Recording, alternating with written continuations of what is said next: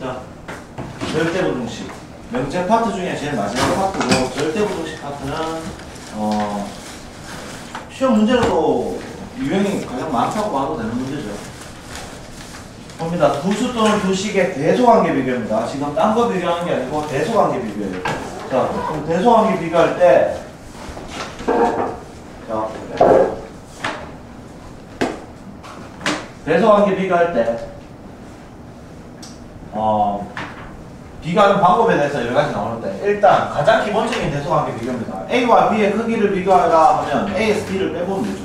A에서 B를 뺏는 게 양수가 나온다면 A가 큰 것일 거고 B가 크다면 음수가 나올 것이고 같으면 0이 나올 것이야 맞지? 그게 기본적인 형태고요. 그 다음 A제곱에서 B제곱을 뺀다는데 A제곱에서 B제곱을 빼는 거는 전제 조건이 깔려야 됩니다.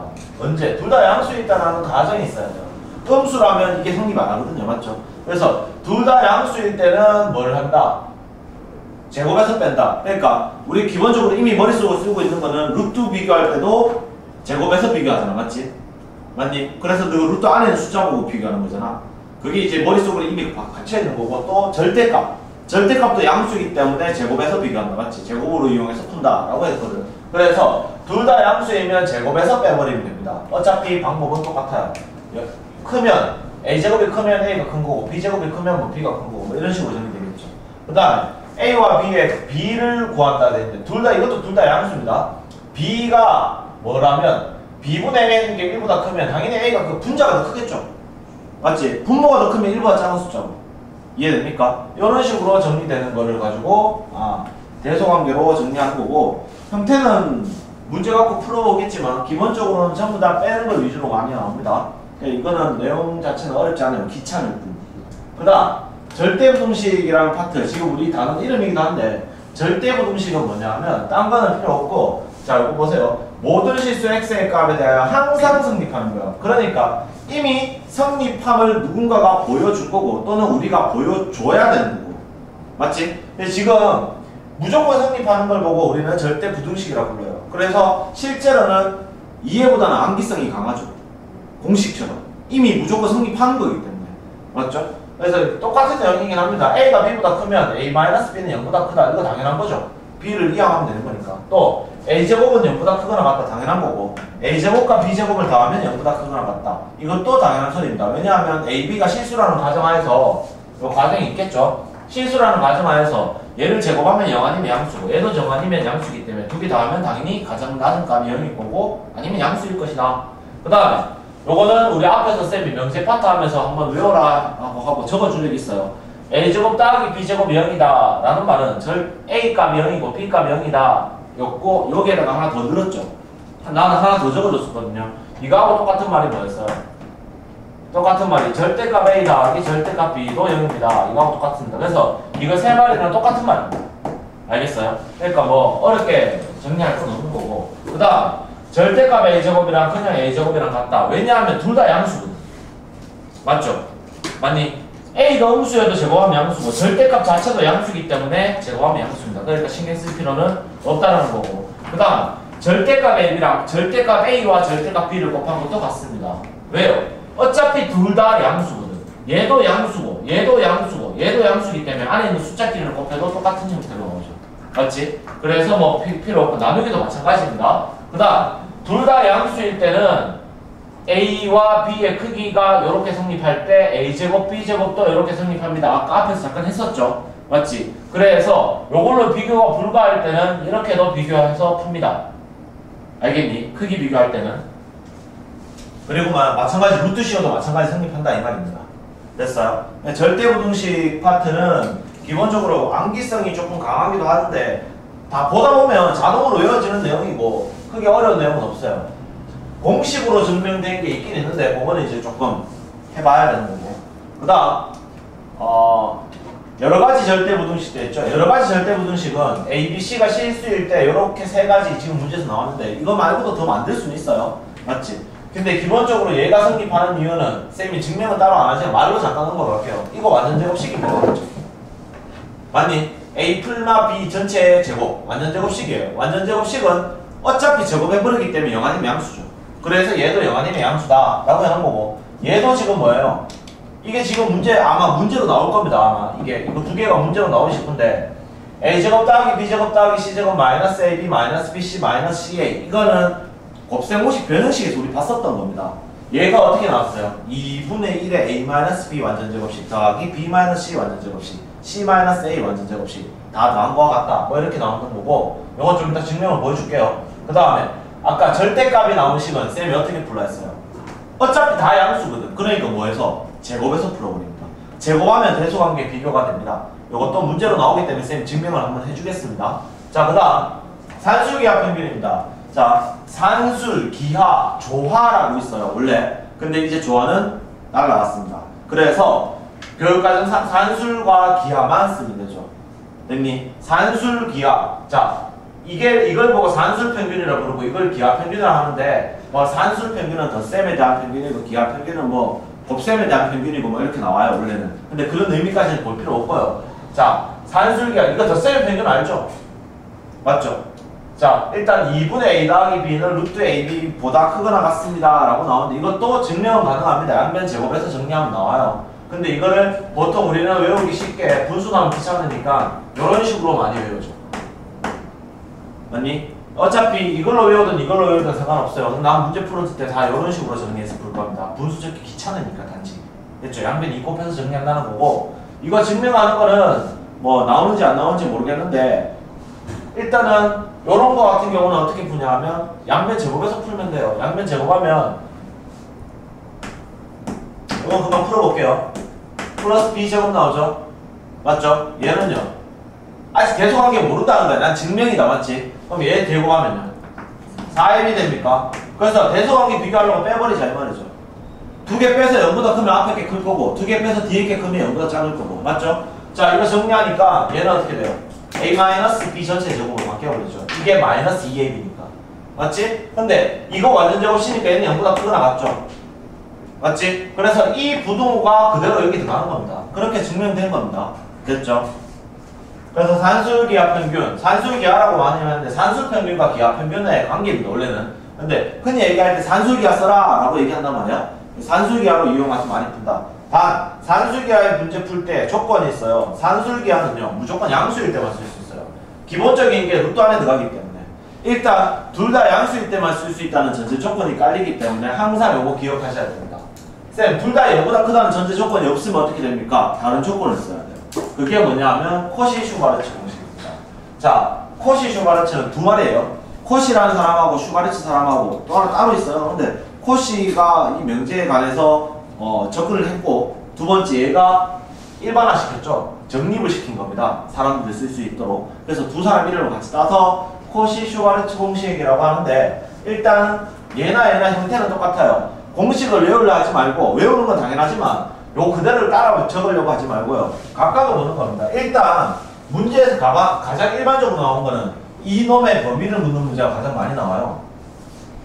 당연히 이 값을 물을 수도 있고 이 값을 물을 수도 있습니다. 근데 내가 이놈의 범위를 묻는 걸로 가장 많이 나온다. 그래서 기본 형태로 본다면 ax 플러스 by가 나왔기 때문에 여기 앞에 나오는 이 ab는 상수죠.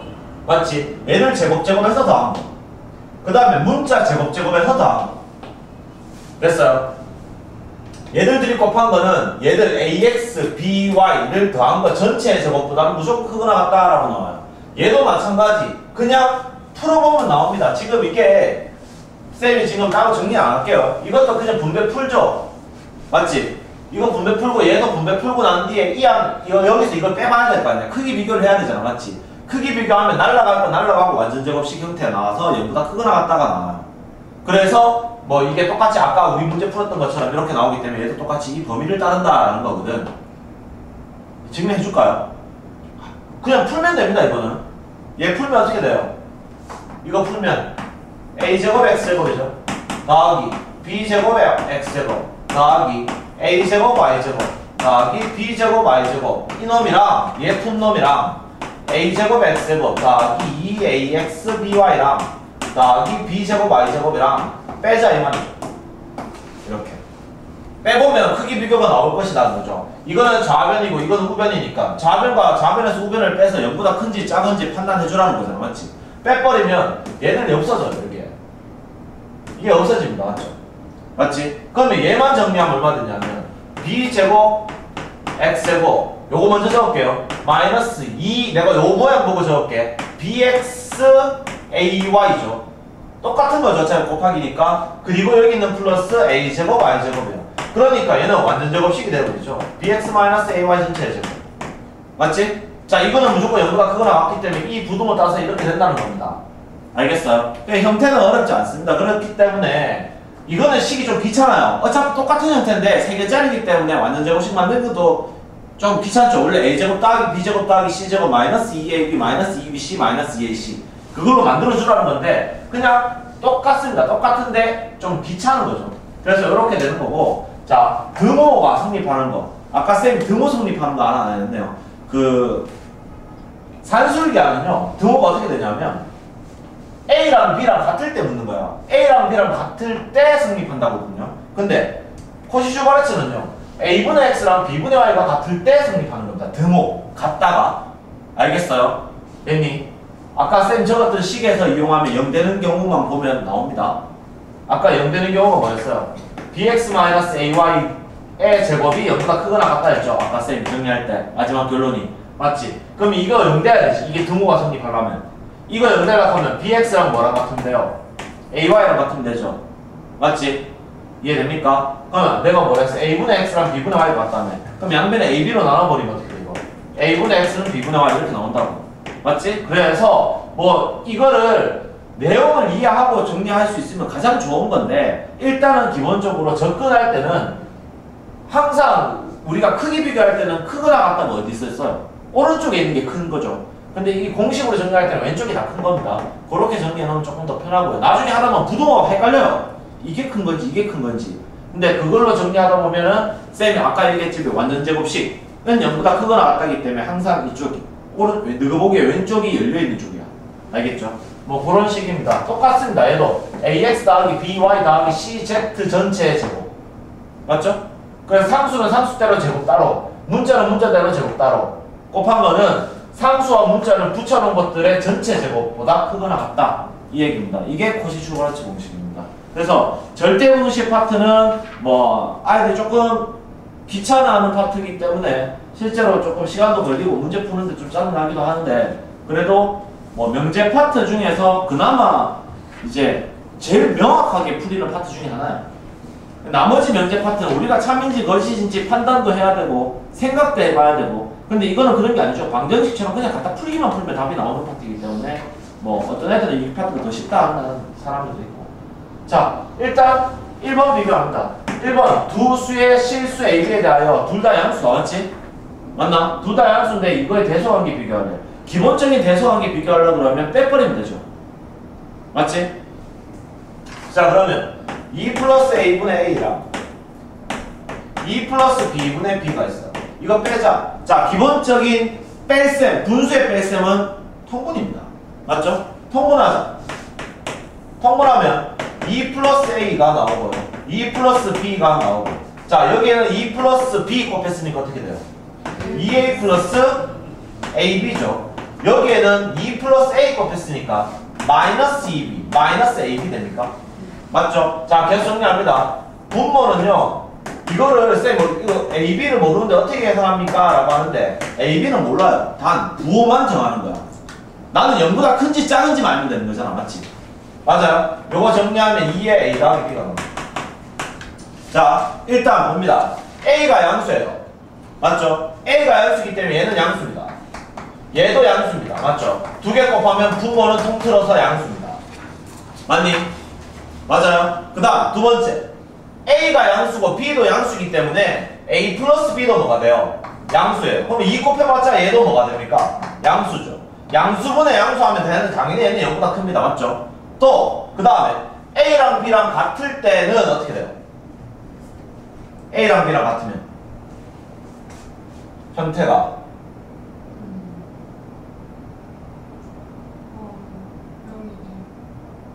A랑 B랑 같으면 0 됩니까? 쌤왜 눈이 안 보이냐? 2 플러스 A 지금 2 마이너스 A 아니에요? 어디요? 쌤, 뭐 A 마이너스 B 아니에요? 아 A 마이너스 B 미안하다 뭐 이상하더라 A 마이너스 B입니다 미안합니다 이거 이거 날아가니까 2로 묶어내면 A 마이너스 B죠 어. 그러면 A랑 B랑 같으면 어떻게 돼요? 0되죠. 됩니까? 따라서 아 얘들 둘이 이렇게, 이렇게 성립합니다가 성립하는 거죠. 그러니까 대소관계만 비교하면 됩니다. 2번 봅니다. 2번 보면 A가 양수고 B도 양수 너번에 봐봐. 둘 다 뭐가 나와버렸어요? 루트가 나왔잖아. 맞지? 양수의 비교인데 루트식이 나오면 기본 형태로 뺄셈을 할 수가 없어요. 루트 3 빼기 루트 1을 할 수가 없잖아. 맞지? 그래서 뭘로 정리하자? 제곱으로 정리합니다. 일단 A, B가 둘 다 양수이기 때문에 얘도 양수일 거고 얘도 양수야. 그래서 양수, 양수의 크기 비교인데 바로 빼기가 안 되기 때문에 제곱에서 빼겠다 이 말입니다. 알겠어요? 그럼 제곱하면 얼마 되죠? 2의 A 플러스 B입니까? 네. 그 다음 오른쪽 거 제곱합니다. 자 보세요. 오른쪽 거 제곱하면 A 루트 A 제곱하면 A죠. 플러스 2 루트 AB입니까? 그 다음 플러스 B입니다. 이거를 통틀어서 빼자 이 말이죠.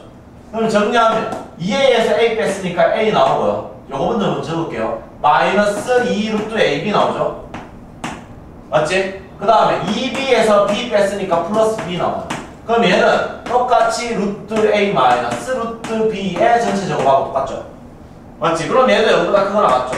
따라서 얘도 0보다 크거 나갔다. 그 부등호 바로 따라간다 이 말이야. 알겠니? 요 부등호가 그대로 따라갑니다. 항상 앞에서 뒤에 걸 뺄 거니까. 뒤에서 앞에 걸 빼면 너가 헷갈리죠? 부등호 망인 거 나중에. 자, 그 다음 3번 봅니다. 2의 60승이랑 자, 이거는 B를 이용해서 풀어하는데 자, 이제 고등학교 때 이 2학년 때 나오는 이 지수라는 파트에서 보면 또 비교가 나와요. 자, 일단 뭔가를 비교할 때는요, 같게 해줘야 돼, 뭔가를. 지금 밑과 지수가 둘 다 나왔는데 밑도 다르고 지수도 다르니까 내가 계산을 못하는 거거든. 맞죠? 근데 이미 너희들은 다 알고 있어. A의 6승이랑 만약에 A가 뭐, A는 하지 말고 이미 너희들 알고 있죠. 2의 6승이랑 2의 8승이랑 2의 20승이랑 누가 더 큰지 알고 있죠. 맞지? 왜? 하나가 같으니까 비교할 대상이 생기는 거잖아. 맞지? 또는 3의 40승이랑 2의 40승이랑 5의 40승이랑 누가 더 큰지 다 알거든. 맞죠? 얘들이 지수가 같으니까 비교할 대상이 생긴다는 거야. 그러면 얘들은 밑도 다르고 지수도 다르기 때문에 둘 중에 하나를 같게 만들어주는 게 일반적이죠. 그러면 뭐를 같게 만들어주는 게 편하냐면 어 뭐를 같게 만들어도 상관없는데 일반적으로 편한 게 지수를 같게 만들어주는 게 편해요. 자 어떻게 하는지 봅시다. 60과 40과 20 있으니까 얘들 세 개 다 공통으로 가지고 있는 거 20이죠. 맞죠? 그러면 얘는 잘 봐. 2의 제곱에 미안 2의 세제곱에 20승하고 똑같나? 맞죠? 얘는 3의 제곱에 20승하고 똑같고요. 얘는 6의 20승하고 같아요. 결론적으로 얘는 8의 20승이고 얘는 9의 20승이고 얘는 6의 20승이죠. 그럼 제일 큰 놈이 누군데요? 얘가 1번 가장 크고요. 두 번째는 얘, 세 번째는 얘겠죠. 맞니? 이렇게 가는 거니까. 그래서 문제 비교 답 적을 때 어떻게 3의 40승이 가장 크고요. 그 다음에 2의 60승이 크고요. 그 다음에 6의 20승이 큽니다. 이런 식으로 답을 정리하는 거죠. 이해됩니까? 그러니까 비교 대상이 없을 때는 뭔가를 하나 일치시켜 놓고 나머지 하나를 비교하시면 됩니다. 되겠어요? 이런 식으로 정리한다. 그 다음 절대분식의 증명 파트 아까 쌤이 문제 갖고 내가 좀 이따 이거 문제에 나왔던 것 같다 그래서 증명해 줄게요 라고 했어요 자 증명 한번 해봅시다 자 일단 1번은 딱 봐도 이제 곱셈공식 형태인 건 알고 있죠 곱셈공식 형태인 거 알아야 되고 모르면 안 됩니다 자 1번. A제곱 더하기 b제곱 더하기 c제곱에서 ab 더하기 bc 더하기 ca를 빼보자 이 말이야. 그럼 대소관계가 나올 것이니까. 맞죠? 이거 빼버리면 a제곱 더하기 b제곱 더하기 c제곱 마이너스 ab 마이너스 bc 마이너스 ca입니다. 자 근데 이게 우리 앞에서 봤던 곱셈공식 변형식에서 나온 적이 있습니다. 어떻게? 2분의 1에 중괄로 a 마이너스 b 전체 제곱 더하기 b 마이너스 c 전체 제곱 더하기 c 마이너스 a 전체 제곱. 이거가 같더라 라고 되어 있습니다. 됐어요? 지금 이거 설명 안 합니다. 이거 왜 이렇게 되는지 설명 안 합니다. 이거 설명되는 거는요 양변에 2 곱하고 다시 2분의 1 해준 다음에 완전 제곱식만 만들면 돼요. 어려운 거 아니거든요. 그러니까 안 되면 앞에 있는 개념을 한번 보시면 됩니다. 설명해놨으니까. 자 이렇게 되고 기본적으로 A, B, C가 실수예요. AS, B 뺀 게 양수든 음수든 0이든 간에 얘를 제곱해버리면 최소한 0 아니면 양수예요. 얘도 0 아니면 양수죠. 얘도 0 아니면 양수입니다. 그것들끼리 가장 더해봤자 가장 작게 나온 거는 얘가 0이고 얘가 0이고 얘가 0일 때 뭐가 나오는 거야? 0으로 나오겠죠. 나머지는 무조건 최소 양수이기 때문에 0보다 크거나 같다. 됐나? 그럼 이 등호가 성립할 때는 언제예요? A랑 B랑 C랑 다 똑같을 때죠. 그래 이게 다 0 돼버리거든. 맞죠? 그러니까 이런 경우도 이제 정리해줘야 되는 거죠. 단 A와 B가 C가 같을 때는 뭐가 됩니다? 등호가 같습니다. 자 이런 식으로 성립한다. 그래서 아 얘가 일단 이게 성립했기 때문에 이 등호가 성립합니다. 라고 만들어주면 되는 거죠. 두 번째 두 번째 봅니다. 절대값 A 더하기 절대값 B랑 절대값 A 더하기 B야. 일단 절대값 A와 절대값 B 그리고 절대값 A 더하기 B는 모두 양수입니다. 맞죠? 근데 절대값이 들어갔기 때문에 당장 빼기가 어렵다. 맞니? 그래서 제곱해서 빼버리죠. 양변을 제곱해버립니다. 그러면 얘는 아까 우리 기억납니까? 공식에서 절대값 A를 제곱하면 뭐가 돼요? 그냥 A 제곱했던 거 기억나요? 맞니? 어차피 둘 다 양수기 때문에 제곱해도 맞지? 그러면 요거 이용하면 어떻게 돼요? 요거 이용하면 아 절대값 통째로를 제곱해버리면 절대값은 없는 거나 마찬가지입니다 맞죠? 그렇기 때문에 이거 통째로 이렇게 제곱해버리면 얘 제곱하면 얼마 돼요? A 제곱 됩니까?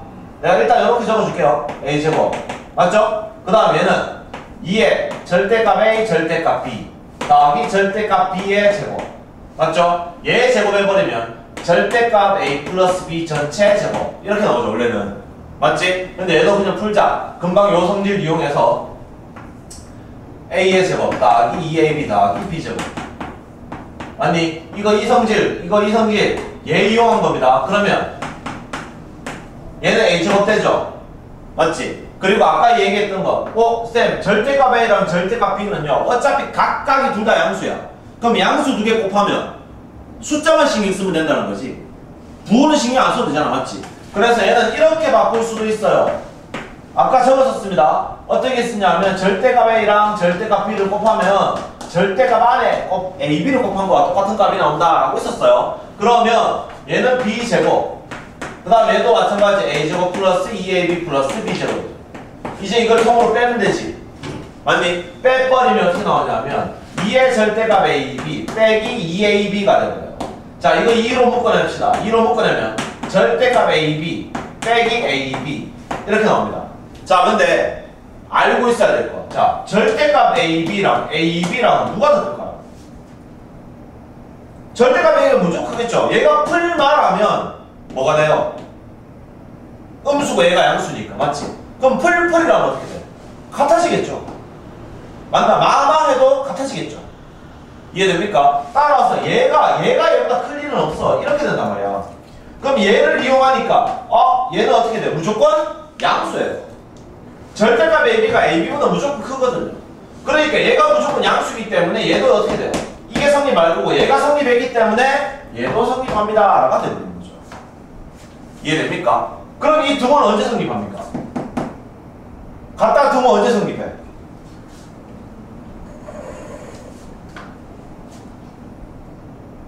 이 같은 등호 언제 성립해요?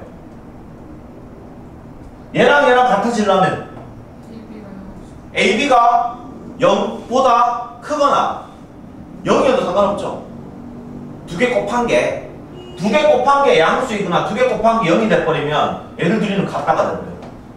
두개 곱한 게 음수라면 무조건 얘가 더 크고, 맞죠? 그래서, 아, 등호는 AB가 양수, 0보다 크거나 같을 때 성립합니다. 라고 더 적어주면 돼요. 됩니까? 기본은 직면 파트가 많다 보니까 조금 귀찮은 파트이긴 한데, 뭐, 조금은 내가 알고 있던 파트다라고 하면 그냥 별거 없이 넘어가는 파트입니다. 다르게 생각하면. 그 다음. 자, 세 번째. 곱이 일정하대요. 곱이 일정할 때 산술 평균과 기하 평균의 관계 이렇게 됩니다. 자, 문제에서 언급하는 내용 조금만 먼저 잡아갑시다. 일단 뭐 이런 건 치우고 둘 다 양수 나왔네. 어, 쌤, 둘 다 양수 나왔는데 두 개 더한 거랑 두 개 곱한 게 나왔어. 맞지? 맞니? 그런 게 나왔으면 일단 기본적으로 산술 기하를 먼저 의심하고 시작해야 돼요. 알겠니? 앞으로도. 그 미분이라는 파트를 이용하면 이런 것도 금방 구하는데 지금 우리는 미분을 배우지 않았기 때문에 자 산술 기하라는 거는 둘 다 양수이고 얘들 둘이가 곱해져 있는 형태 또 x와 y의 개수 개수는 상관, 상관없이 더해진 형태가 나왔을 때는 일단 산술기하야 원래 기본적인 산술기하 공식은 x 플러스 y는 2루트 xy예요. 아이들이 가장 많이 묻는 거야. 쌤 산술기하 공식이 기억이 안 나요?는 질문을 하지 않습니다. 대부분 애들은 쌤 이 문제가 왜 산술기하를 쓴 겁니까? 라고 묻는 거거든 대부분은. 쌤 이 문제 보고 왜 얘는 코시슈 가르치고 얘는 왜 산술기하고 이렇게 묻는단 말이야 대부분은. 그러니까 질문하는 의도를 조금만 더 파악하면 전제 조건만 잘 파악하면 돼요 둘 다 양수라는 전제가 들어가버리고 두 개 더한 거와 두 개 곱한 게 나왔다. 치면 어떻게 만들어요? 산술기하를 쓰는 거죠. 자 일단 정리부터 해볼게요. 그럼 내가 이거의 최소 갖고 하라 했으니까 얘 뭘 구합시다. 산술기하 정리합시다. 그럼 얘는 3x랑 2y랑 곱한 이런 형태가 나오죠. 맞니? 이거를 통틀어서 이걸 통틀어서 얘랑 얘랑 더한 거랑 얘랑 얘랑 곱한 거랑 여기 있고. 맞죠? 그러면 조금만 더 정리할게요 3x 플러스 2y 나오고요 2 루트 6xy가 돼요 자 근데 이 문제에서 xy가 얼마래? 4래요 그럼 얘는 루트 24지 맞지? 그러면 얘가 2루트 6이거든요 그럼 얘는 얼마 돼요? 4루트 6 됩니까? 맞죠? 그러면 3x 플러스 2y라는 놈은 무조건 4루트 6보다는 크거나 같다는 거지. 그러면 3x 플러스 2y의 값의 최소값은 자동 얼마가 되는 거야? 4루트 6이 되겠죠. 그래서 답은 4루트 6이에요. 됐니? 다시 얘기하는데 산술기하 문제에서 쌤 이게 왜 이렇게 돼요? 라고 질문하는 놈은 없어요. 알겠니? 왜 계산 다할수 있거든. 이 문제를 보고 왜 산수기하니? 라고 하는 게 질문이 가장 많다고. 그러니까 문제 포인트 빨리 잡으라고. 둘 다 양수일 때는 뭘로 쓴다? 산수기하. 그리고 뒤에 나오겠지만 두 개의 숫자가 실수라는 전제 조건이 나왔을 때는 코시슈 가르치를 씁니다. 알겠어요? 자, 그 다음 문제 옵니다. 또 봐봐. 둘 다 양수 전제 조건 있죠? 맞지? 산수기하를 생각해보라 이 말이야. 왜? 기본적으로 덧셈이 나왔고 원래는 곱셈이 나와야 되는데 요거는 이제 그걸 숨겨놓은 거죠?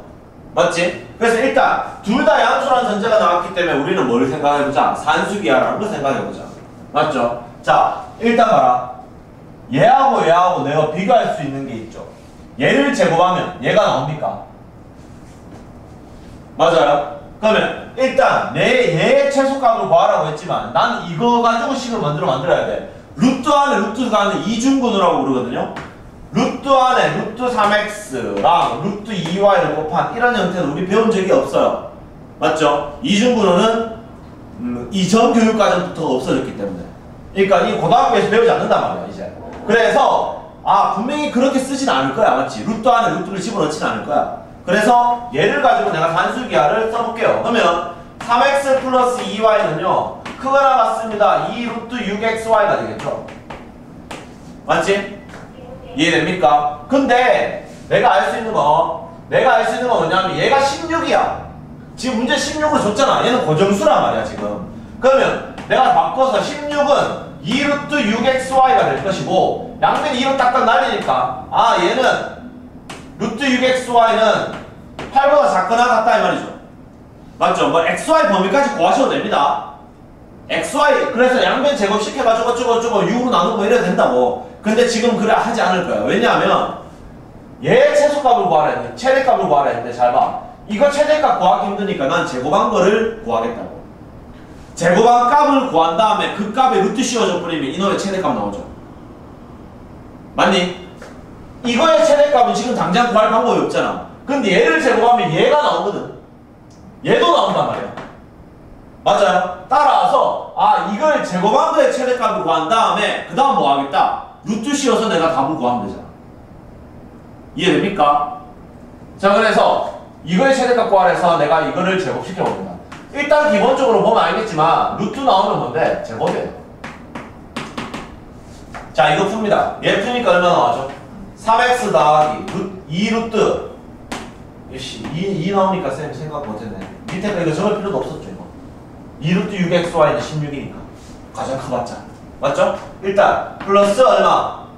2y죠 자 정리 다시 합니다 3x 플러스 2y 더하기 2 루트 6xy인데요 자 이미 3x 플러스 2y라는 건 문제에서 16이라고 줘버렸어. 그래서 이 값은 일단 16이라고.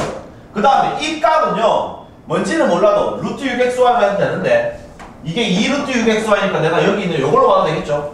2루트 6xy는요, 무조건 16보다 작거나 같대. 그러면 2루트 6xy라는 놈이 가장 커봤자 16이거든. 그러면 이거의 최대값도 얼마 돼? 16이 되겠죠. 따라서 이놈의 최대값은 자동 얼마가 돼? 32입니다. 자, 나는 이 값을 구한 거지 안에 있는 값을 구한 게 아니란 말이야. 맞죠?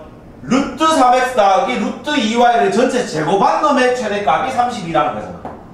맞니? 그래서 루트 3x 더하기 루트 2y의 범위는 어떻게 돼요?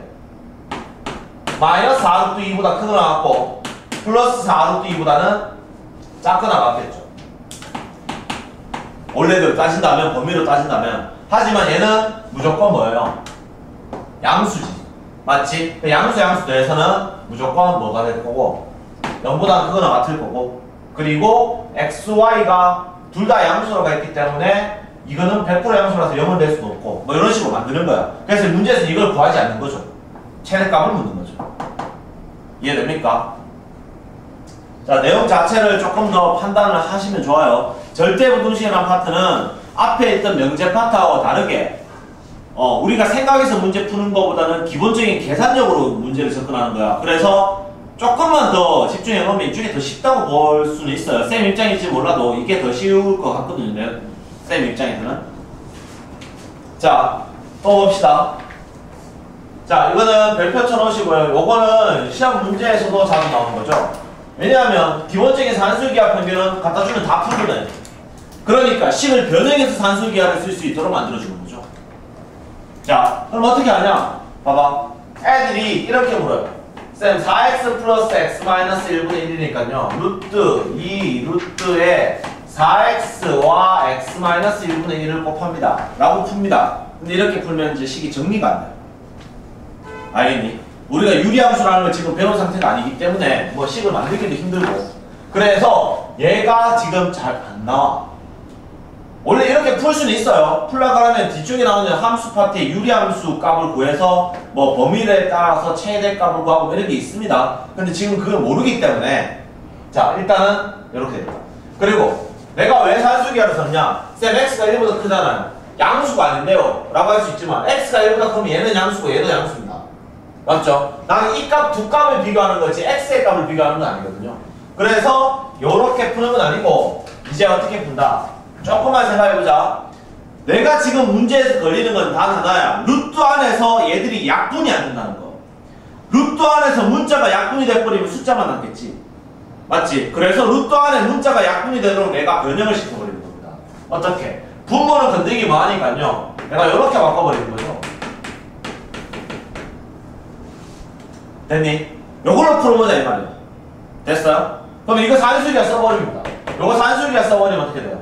2 루트에 4의 x-1가요. x-1분의 1 이렇게 돼버리죠. 그러면 이 값은 자체가 얼마 되죠? 요거 요거 약분되고 요거 2니까 4 됩니까? 맞아요. 자 근데 이건 내가 원한 문제가 아니에요.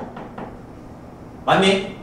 내가 원한 문제가 아니지. 그러면 이 값하고 이 값하고 비교할 대상이 필요한데 얘하고 얘하고 같아지려면 식이 뻔합니다. 요거 풀면 4x 나오지. 여기 있거든요. 근데 여기 마이너스 4가 나와요. 이 마이너스 4 원래 있어 없어? 없지. 그럼 내가 요거 이렇게 봐줄게요. 4x 플러스 x 마이너스 1분의 1 마이너스 4가 4보다 크거나 같나? 이해돼요? 내가 원하는 건 이거잖아 지금. 맞지? 그래서 4x 더하기 x 마이너스 1분의 아니 x 마이너스 1은 1은 8보다 크거나 같다가 되버리는 거죠. 이해됩니까? 이렇게 푸는 게 산수기하로 정리하는 겁니다. 똑같이. 자, 다시 조금만 다시 산수기하로 하면 덧셈과 곱셈이 같이 나오는 거야. 그럼 더하기는 일반적으로 바꾸는 게 어렵지 않죠? 맞지? 곱하기는 바꾸는 게 힘듭니다. 자, 그래서 더하기를 변형시키는 게 아니고 루트 안에서 곱하기를 없어지기 위해서 형, 그러니까 더하기를 변형시키는 건데 말을 잘못했죠. 곱하기를 변형시키는 게 아니고 루트 안에서 곱하기를 못하게 약분이 돼버리게 밖에서 변형을 시켜서 들어와 버리는 거야. 알겠니? 약분이 될 수 있도록 내 마음대로. 어, 얘가 x-1이니까 얘도 x-는 형태로. 맞죠? 그래서 비교하는 겁니다. 이렇게 풀어놓고 얘랑 비교하면 되죠. 맞지? 뭐 어려운 건 아닙니다. 애초에 내가 지금 이걸 만, 만들어 놓고 비교했는데 애초에 이렇게 봐도 됩니다. 4의 x-1 더하기 x-1분의 1이지. 얘랑 얘랑 다르잖아요. 그래서 여기에 마이너스 4가 있으니까 다시 뭐 해주면 돼? 플러스 4 해주면 같아지죠. 맞지? 요렇게 풀어도 돼요. 그럼 얘도 똑같이 여기에 플러스 4 해주면 되죠. 양변에 똑같이 플러스 4 해준 거니까. 맞니? 요게 요거니까. 요렇게 풀어도 상관없고요. 자기 헷갈리면 그 조정해서 푸시면 됩니다. 그 다음 두 수의 곱의 최대값과 최소값. 자, 이것도 마찬가지입니다. 그나마 얘는 좀 쉽게 풀어요, 애들이. 위에 거는 변형을 해야 되고 얘는 곱하기만 하면 되거든요. 자, 이거 분배합니다. 분배하면 얼마나 나와요? AB 더하기 어, 4 나오죠. 그 다음에 1 더하기 AB분의 4입니까? 그러면 쌤 나는 이 식이 값에 궁금하지만 얘와 얘는 그 어차피 얘는 상수니까 얘와 얘의 값이 더 궁금한 거잖아 결론적으로는 그래서 얘를 내가 이렇게 바꿔버리겠다고 AB 더하기 AB분의 4 더하기 4로 아니 5죠 됩니까?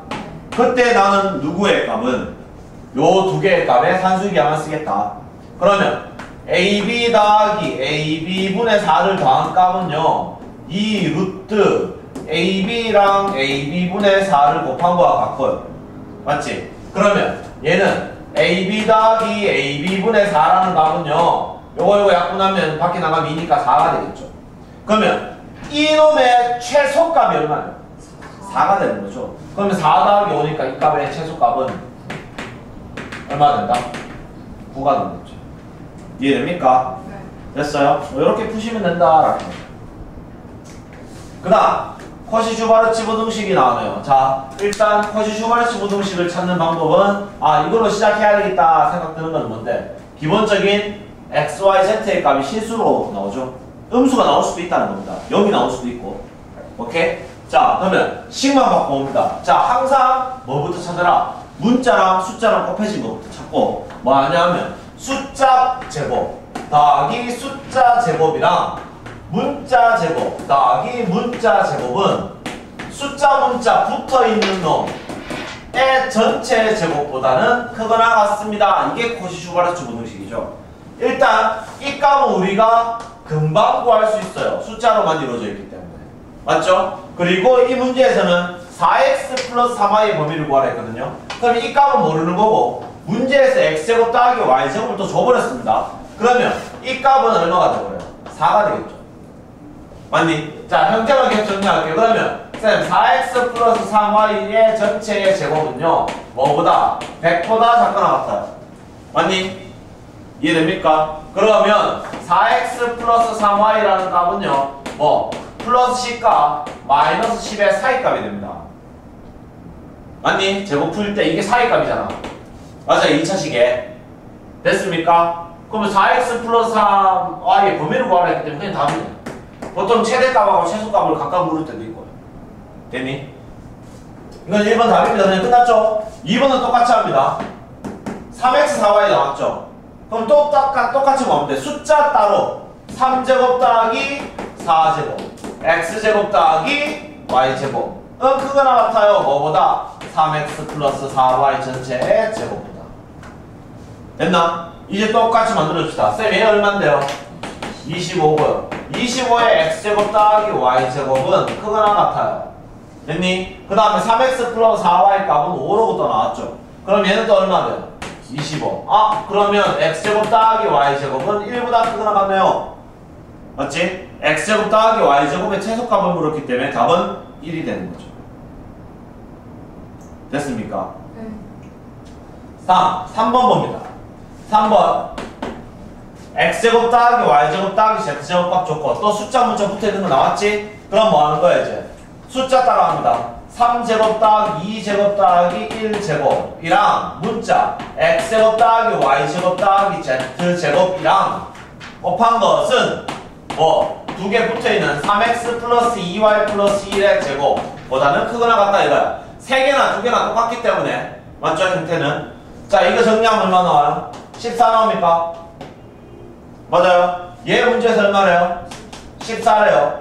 그러면 다시 정리할게요. 3x 플러스 2y 플러스 1의 전체 제곱은요. 14의 제곱보다 작거나 같아요. 맞니? 됐어요? 그러면 3x 플러스 2y 플러스 1이라는 놈은요. 14와 마이너스 14의 사이에 존재하죠. 됩니까? 이게 169니까 196이니까. 그래서 문제에서 범위 구하랬기 때문에 답은 이게 되겠죠. 됐습니까? 자, 절대 분식 파트에서 지금 크게 언급된 공식은 산술기와 코시슈바르츠입니다. 산술기와는요, 코시슈바르츠보다 시험 범위의 출제가 훨씬 많아요. 그리고 흔히 얘기하는 모의고사에도 나옵니다. 코시슈바르츠는 생각보다 잘 안 나와요. 됐니? 근데 어, 크게 어려운 게 아니거든요. 내용만 알고 있으면 기본 식만 보면 좀 아 뭐지? 라고 보는데 별거 없어요. 코시슈바르츠는. 근데 산술기와는 식을 변형해서 푸는 게 많기 때문에 시험 출제는 더 높습니다. 그리고 모의고사에도 자주 나오고 당연히 뭐 3점짜리겠지만 일단은 그렇다. 자, 자 문제 봅시다. 이 답장의 넓이의 최대값과 최소값을 구하라 뭐 이런 거 있죠? 아 최대값만 구하네. 자 봅니다. 닭장의 넓이를 구하래. 그럼 내가 이 길이 뭔지 모르니까 이걸 x라 하고 이 길이 뭔지 모르니까 이걸 y라 둘 수 있죠 내 마음대로 맞지? 그럼 내가 여기서 만들 수 있는 기본 공식이 하나 생깁니다 뭐가 생깁니까? x제곱 더하기 y제곱은 20 자, x제곱 더하기 y제곱은 20의 제곱이라는 피타고라스 공식이 하나 생겨요 그리고 문제에서 원하는 건 뭐죠? 넓이 넓이는 뭔데요? 2분의 1 xy가 얼마냐라고 묻는 거란 말이야. 맞지? 근데 일단 기본적인 x가 뭔데? 양수죠. y도 양수죠. 맞지? 그리고 제곱한 거는 더더욱이나 양수야. 그럼 나는 지금 뭘로 쳐다보면 돼요? 요거 가지고 산술기하 쓰는 겁니다. x 더하기 y를 산술기하 쓰는 게 아니라 문제 조건을 써서 풀어야 죠. 그러면 자 x제곱 더하기 y제곱은요 뭔데 해버려요? 2 루트 x제곱 y제곱이라는 게 성립합니다. 맞니? 근데 얘가 지금 얼마니? 400이거든. 400은 2 루트 x제곱 y제곱 이거 벗게 되면 얼마지? xy 됩니까? 맞지? 자 문제에서 원하는 건 뭔데? 2분의 1 xy잖아. 그럼 이거 4로 나눠버리면 됩니까? 그럼 얘는 2분의 1 xy는요 뭐보다 100보다 작거나 같죠? 맞지? 그럼 이게 지금 넓이니까 넓이의 최대값은 자동 얼마가 돼야 돼요? 100이 되겠죠. 이렇게 푸는 거죠. 이런 식으로 문제 미리수 넣고 푸는 거 많아요. 생각보다 많이 나온다고요. 산술기하로 제일 많이 나온다. 밑에 문제는 코시슈바르츠로 부등식 정리하는 건데 얘도 뭐 어, 이러한 식의 이게 지금 이 원의 중심복 우리 뭐라 부르는지 아니? 이 원의 중심복 우리 뭐라 불러요? 우리 배운 내용입니다. 중2 때. 원이 삼각형에 내접해 있죠. 맞죠? 내점원입니다. 맞죠? 그럼 내점원의 중심을 보고 우리는 내심이라고 그러죠. 그럼 내심일 때 삼각형 넓이 구했던 방법 뭡니까? 내가 어, 삼각형의 넓이를 구하는 방법이 여러 가지가 있다라고 얘기했었고 그 넓이를 구하는 방법을 다 알고 있어야 돼요. 고등학교 문제를 풀려면. 기본적인 삼각형의 넓이는 밑변 곱하기 높이 나누기입니다. 맞죠? 그리고 사선 공식 기억납니까? 좌표 3개 나왔을 때 구할 수도 있죠. 사선 공식이 아니더라도 풀 방법은 있습니다. 우리는 점과 직선 사이의 거리를 알기 때문에.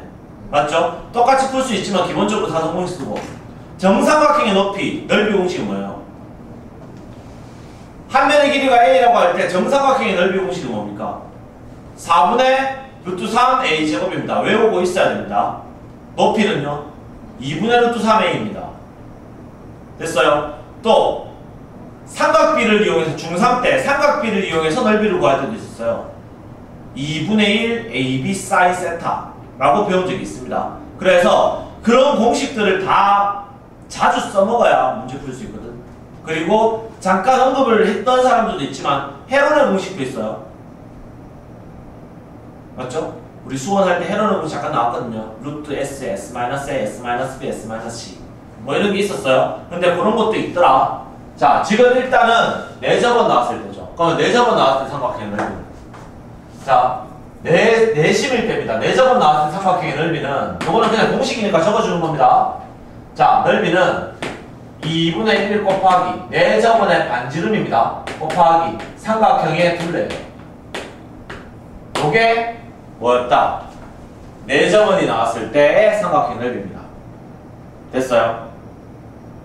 증명이 필요합니까 이거? 자 넘어가겠습니다. 그러면 내가 이 내점원의 반지름을 R이라고 하자. 됐어? 그러면 이 삼각형의 넓이는 어떻게 구해야 돼? 아, 아니지. R도 아니네요. 문제에서 나왔네요. 내점원의 반지름 길이가 얼마로 나왔어? 얘로 나왔네. 맞지? 그럼 넓이 바로 구할 수 있네요. 넓이는요. 2분의 1 곱하기 아 선생님 계속 S를 8천이 2분의 1 곱하기 반지름이 얼마야? 3분의 2로 뚝입니까? 네. 곱하기 삼각형 둘레 5, 7 다음에 12, 6 다음에 18. 자 이거 약분하면 2, 2 날라가고 3, 18 약분하면 얼마 나와요? 6루트 6 나와요. 맞죠? 자 일단 이 전체 넓이가 얼마라는 건 알아. 6루트 6인 건 알아. 당연히 이 공식 모르면 문제 접근하기 힘들죠. 맞죠? 자 일단은 6루트 6이 전체의 넓이입니다. 라는 건 알아. 알아. 근데 봐봐. 각각의 삼각형 DAB, DBC, DC의 넓이를 XYZ라고 했거든. 그러면 DAB 이 놈을 X라 하고 이 놈을 Y라 하고 이 놈을 Z라고 한다면 삼각형 세 개로 쪼개져서 나오는 거죠. 맞지? 그럼 내가 이걸로 만들 수 있는 공식은 C는 이거죠. X 플러스 Y 플러스 Z는요 6루트 6이라는 거. 됩니까? 이때 문제에서 뭐 물었어요? X제곱, Y제곱, Z제곱 물었죠. 맞지? 지금 이거 물었어요. 그럼 뭘로 갑니까 이거? 봐봐. 자, 내가 이거 저거하고 정리 한번 해볼게요. 일단 x 플러스 y 플러스 z는 알죠? 맞지? 우리 앞에서 플러스 때 어떻게 나왔니? 3x 플러스 4y 이래 나오면 어떻게 했어요? 앞에 3제곱 4제곱 맞니? x제곱 y제곱 이러겠지? 맞아요? 지금 봐봐 얘는 1차식이라고 생각하면 돼 맞지? 여기서 1차식 얘예요 얘 얘가 여기 있는 놈이야 그러니까 식은 어떻게 되냐면 x 플러스 y 플러스 z의 제곱 이렇게 나오고 여기에 뭐 들어가는 거야? 쌤 상수가 다 1인 겁니다 그냥 그러면 1의 제곱 더하기 1의 제곱 더하기 1의 제곱이랑요 x제곱 더하기 y제곱 더하기 z제곱이랑요 이렇게 나온다고 지금 산수 저 코시슈바르츠 공식이 지금 문제에서 이 값을 묻고 있죠? 네. 그 다음에 이게 얼마인데? 3 그럼 3에 x제곱 더하기 y제곱 더하기 z제곱 그거 나왔습니다 얘는요 x 플러스 y 플러스 z의 값이 뭔지 알거든요 지금. 그러면 6루트 6 제곱하면 6 세제곱이죠 이거. 맞니? 양변에 3 나눠버리면 x제곱 더하기 y제곱 더하기 z제곱은요 72 나옵니다. 36 곱하기 2니까. 3 하나 약분하면. 그래서 이 넓이의 최소값은 얘는 가장 작아봤자 70이잖아. 맞지? 그래서 답은 얼마가 된다? 72보다 크거나 같다. 최소값은 70입니다